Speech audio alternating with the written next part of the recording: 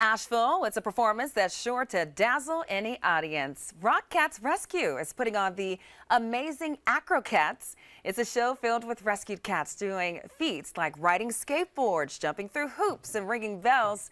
They'll be performing at the Diana Wortham Theater at the beginning of October. Tickets start at 30 bucks.